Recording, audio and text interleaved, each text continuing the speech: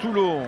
Et pas de tampon, pas de réveillon, si j'ose dire. Bastaro sur Mafi et en victime involontaire, euh, Palisson.